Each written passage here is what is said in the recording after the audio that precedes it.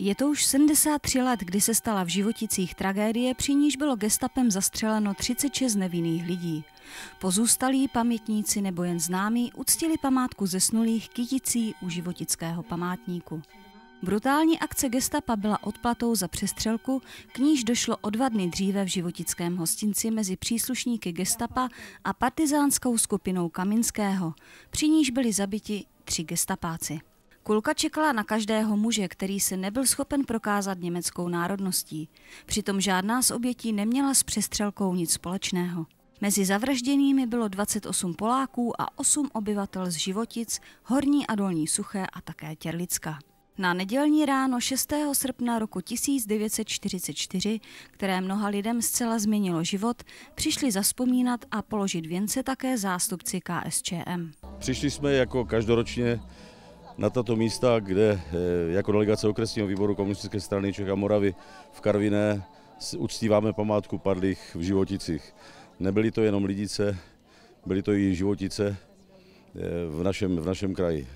Připomínáme si tu památku padlých eh, z toho důvodu, protože dneska obzvlášť v době, kdy se zde prohánějí příslušníci cizích armád, kdy ve školách se komolí historie, je zapotřebí lidem říkat pravdu a jednoznačně eh, působit ve jménu míru a života pro naše děti. Každoročně se scházíme zde v Životicích, abychom si připomněli životickou tragédii, kdy bylo zavražděno 36 nevinných lidí, zde obyvatel Životic.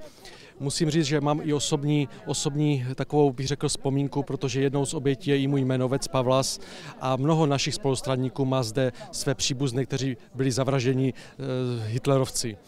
Jsem velice rád, že se každoročně zde setkáváme a byla hojná účast a já bych chtěl poděkovat touto se občanům, že nezapomínají na tyto tragédie. Musíme si je připomínat dnes a denně, protože se stačí podívat, co se děje ve světě a myslím si, že mír je dneska opravdu ohrožen.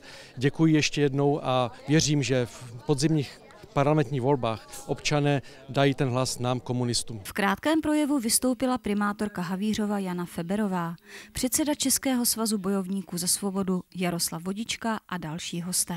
Já jsem se narodil po válce, můj otec je e, svobodovec, mám rodiče z Volině, takže můj otec šel přes Duklu se svobodovou armádou a z dnešního dne mám nádherný pocit. Bylo tady plno lidí, plno lidí tady vzpomínalo, vysvětlili si plno řeči mezi sebou, plno věcí. Mrzí mě to, že mládež zde není, ale jsou prázdniny, tak jak jsem řekl ve svém projevu. Děti si užívají volnost, tak ať si ho užívají, ale je o tom, aby ty školy se tomu věnovali a aby těm dětem říkali pravdu a nepřekrucovali to, že třeba se můžeme dočkat jednou toho, že my jsme vyprovokovali válku a že my jsme ji prohráli. Není pravda. My jsme se pouze bránili a válku vyhráli jsme my. Polská a česká státní hymna byla závěrečnou tečkou za tímto slavnostním aktem.